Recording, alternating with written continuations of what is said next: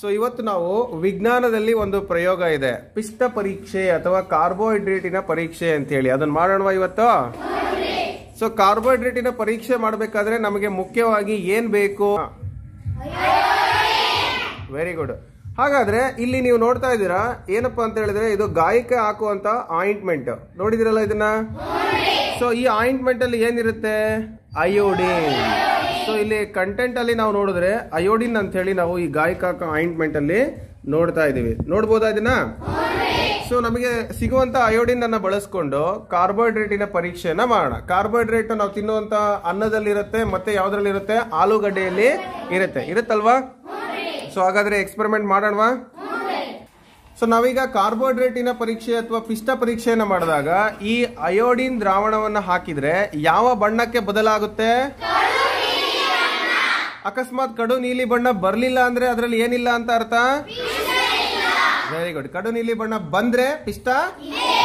ಹಾಗಾದ್ರೆ ಮಾಡೋಣ experiment ointment ಅಲ್ಲಿ ಅಯೋಡಿನ್ ಇದೆ. ಸೊ ಆಯಿಂಟ್ಮೆಂಟ್ ಅನ್ನ ನಾವು ಬಳಸಕ್ ಆಗಲ್ಲ ಅದಕ್ಕೆ ನಾನು ಏನ್ ಮಾಡ್ತಾ ಇದ್ದೀನಿ? ಈ ಆಯಿಂಟ್ಮೆಂಟ್ ಅನ್ನ ತೆಗೆದು ಅದನ್ನ ಒಂದ್ ಸ್ವಲ್ಪ ಲಿಕ್ವಿಡ್ ಮಾಡ್ಕೊಂತ ಇದ್ದೀನಿ. ಅಂದ್ರೆ ನೀರಿನ ಅಂಶ ಮಾಡ್ಕೊಂತ ಇದ್ದೀನಿ. ಅದಕ್ಕೊಂದು ಸಣ್ಣದೊಂದು ಆಯಿಂಟ್ಮೆಂಟ್ ಇಂದ ಒಂದು ತುಂಡನ್ನ ಇದ್ರೊಳಗೆ ಹಾಕ್ತಾ ಇದ್ದೀನಿ. ಕಾಣಿಸ್ತಾ ಇದೆಯಾ? ಸೊ ಸ್ವಲ್ಪ ಇದಕ್ಕೆ ಹಾಕಿ ಈ ಆಯಿಂಟ್ಮೆಂಟ್ ಸ್ವಲ್ಪನೇ ಹಾಕಿದ್ರೆ ಸಾಕು. ಇದರಲ್ಲಿ ಅಯೋಡಿನ್ ಕಂಟೆಂಟ್ ಇರೋದ್ರಿಂದ ನಾನೇನ್ ಮಾಡಿದ್ದೀನಿ? ಇದನ್ನ ಉಪಯೋಗ ಮಾಡ್ತಾ ಇದ್ದೀನಿ. ಇದಕ್ಕೆ ಒಂದು ಸ್ವಲ್ಪ ನೀರು ಹಾಕಿ ಅದನ್ನ ದ್ರಾವಣ ಮಾಡ್ಕೊಳ್ತೀನಿ. ಓಕೆನಾ? ಒಂದು ಸ್ವಲ್ಪ ನೀರು ಹಾಕಿದ್ದೀನಿ. ಈ ಚಾಕು ಅಥವಾ ಯಾವ್ದಾದ್ರು ಒಂದು ಕಡ್ಡಿಯಿಂದ ನಾನು ಏನ್ ಮಾಡ್ತಾ ಇದ್ದೀನಿ ಅದನ್ನ ದ್ರಾವಣ ಮಾಡ್ಕೊಳ್ತಾ ಇದ್ದೀನಿ. ಇಲ್ಲ ಅಂದ್ರೆ ನಮಗೆ ದ್ರಾವಣ ಸಿಗ್ಲಿಲ್ಲ ಅಂದ್ರೆ ರಿಯಾಕ್ಷನ್ ಆಗೋದಿಲ್ಲ. ಆಗುತ್ತಾ? ಇಲ್ಲ. ಅದಕ್ಕೆ ನಾನು ಏನ್ ಮಾಡಿದ್ದೀನಿ ಅಯೋಡಿನ್ ಬದಲಿಗೆ ಇದನ್ನ ಯೂಸ್ ಮಾಡ್ತಾ ಇದ್ದೀನಿ ಆಲ್ಟರ್ನೇಟ್ ಸುಮ್ಮನೆ ನಿಮಗೆ, ತೋರಿಸ್ಲಿಕ್ಕೋಸ್ಕರ ಆ ತರ ಮಾಡ್ತಾ ಇದ್ದೀನಿ. ಸೊ ಈಗ ನಮಗೆ ಸಿಕ್ಕಿರೋದು ಯಾವ ದ್ರಾವಣ? ಅಯೋಡಿನ್ ಕಾಣಿಸ್ತಾ ಇದೆಯಾ ಅದ್ರ ಕಲರು ಇದು ಯಾವ್ದ್ರಿಂದ ಮಾಡಿದೆ ನಾನು? ಆಯಿಂಟ್ಮೆಂಟ್ ಇಂದ ಮಾಡ್ಕೊಂಡಿದ್ದೆ. ಅಂದ್ರೆ ನನಗೆ ಇಲ್ಲಿ ಸಿಕ್ಕಿದ್ದು ಅಯೋಡಿನ್ ಕಂಟೆಂಟ್ ಇರುವಂತದ್ದು, ಅದಕ್ಕೆ ಇದನ್ನ ಹಾಕಿದ್ದೀನಿ. ಸೊ ಈಗ ಇಲ್ಲಿ ನಾನು ತಟ್ಟೆಯಲ್ಲಿ ಏನ್ ತಗೊಂಡಿದ್ದೀನಿ ನೋಡಿ? ಇದೇನಿದು ಅನ್ನ ಅಂದ್ರೆ ಪಿಷ್ಟ ಇರುತ್ತೆ ಅಲ್ವಾ ಇದರಲ್ಲಿ?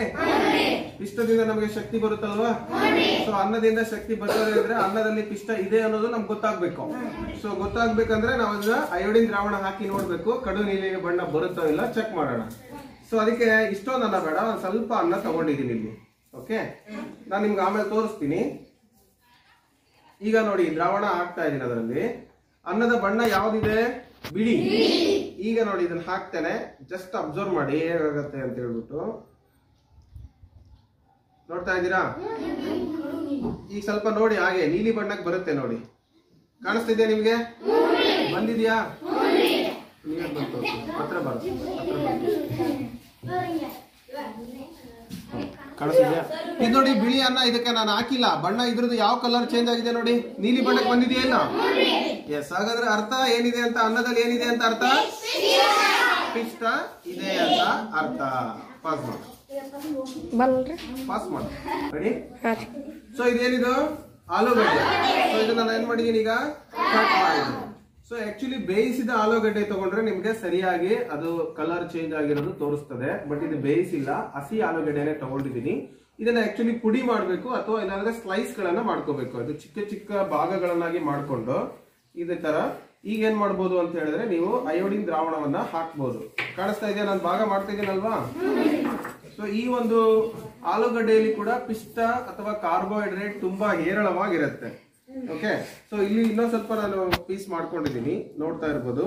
ಇಲ್ಲಿ ಕಾಣಿಸ್ತಾ ಇದೆಯಾ ನಿಮಗೆ? ಏನಿದು?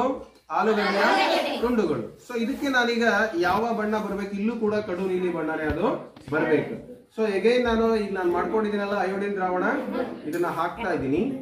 ಸೊ ಈಗ ಅದ್ರ ಬಣ್ಣ ನಿಧಾನಕ್ಕೆ ಅಬ್ಸರ್ವ್ ಮಾಡಿ ರಿಯಾಕ್ಷನ್ ಆಗ್ತಾ ಆಗ್ತಾ ಅದು ಕೂಡ ನೀಲಿ ಬಣ್ಣಕ್ಕೇನೆ ಬರುತ್ತೆ.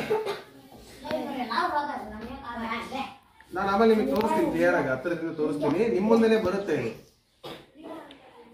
ಅಬ್ಸರ್ವ್ ಮಾಡಿ ಇದನ್ನ. ನಿಮಿಷ ಪಾಸ್ ಮಾಡಿ. ಝೂಮ್ ಮಾಡ್ಬೇಕು ಇಲ್ಲಿ ಕಾಣಿಸ್ತಾ ಇದೆಯಲ್ಲ? ಈ ಆಲೂಗಡ್ಡೆ ರಿಯಲ್ ಬಣ್ಣ ನೋಡಿರ್ಬೋದು ನೀವು ಈ ತರ ಇರುತ್ತೆ. ಆದ್ರೆ ಇಲ್ಲಿ ನಾನು ಅದಕ್ಕೆ ಅಯೋಡಿನ್ ದ್ರಾವಣವನ್ನ ಹಾಕಿದಾಗ ಹತ್ರ ಬಂದು ತೋರಿಸ್ತೀನಿ ನೋಡಿ ಯಾವ ಬಣ್ಣ ಆಗಿದೆ ಇದು? ನೀಲಿ ಬಣ್ಣಕ್ಕೆ ಬಂದಿದೆ. ಸ್ವಲ್ಪ ಸ್ವಲ್ಪ ನೀಲಿ ಬಣ್ಣಕ್ಕೆ ಬಂದಿದೆ. ಇಲ್ಲೂ ಅಷ್ಟೇ ಅನ್ನದ ಬಣ್ಣ ಬಿಳಿ ಆದ್ರೆ ಅದು ಕೂಡ ನೀಲಿ ಬಣ್ಣಕ್ಕೆ ಬಂದಿದೆ. ಸೊ ನಾನಿಲ್ಲಿ ಯಾವ್ದು ಅಯೋಡಿನ್ ಪ್ಯೂರ್ ಅಯೋಡಿನ್ ತಗೊಂಡ್ರೆ ಇನ್ನೂ ಚೆನ್ನಾಗಿ ಬರುತ್ತೆ ಬಟ್ ಇಲ್ಲ ಆಯಿಂಟ್ಮೆಂಟ್ ಇಂದ ನಾನು ಅಯೋಡಿನ್ ದ್ರಾವಣ ತಗೊಂಡಿರೋದ್ರಿಂದ ಈ ರೀತಿ ಬಂದಿದೆ. ಗೊತ್ತಾಗ್ತಾ ಇದೆಯಾ? ಸೊ ಇದಿಷ್ಟು ಯಾವ ಪರೀಕ್ಷೆ? ಪಿಷ್ಟ ಪರೀಕ್ಷೆ. ಪಿಷ್ಟ ಅಂದ್ರೆ ಒಂದೇ ಕಾರ್ಬೋಹೈಡ್ರೇಟ್ ಅಂದ್ರೂ ಕೂಡ ಒಂದೇ. ನಾವು ತಿನ್ನುವ ಆಹಾರ ಪದಾರ್ಥಗಳಲ್ಲಿ ಪಿಷ್ಟ ಹೇರಳವಾಗಿದ್ರೆ ನಮಗೆ ಶಕ್ತಿಯನ್ನ ಕೊಡುತ್ತೆ. ಸೊ ಇದೇ ಒಂದು ಸಣ್ಣ ಚಟುವಟಿಕೆ, ಪಿಷ್ಟ ಪರೀಕ್ಷೆ ಇದೆ ಇಲ್ಲೋ ಅನ್ನೋದನ್ನ ಮಾಡುವಂಥದ್ದು. ಅರ್ಥ ಆಯ್ತಲ್ಲ? ಧನ್ಯವಾದಗಳು.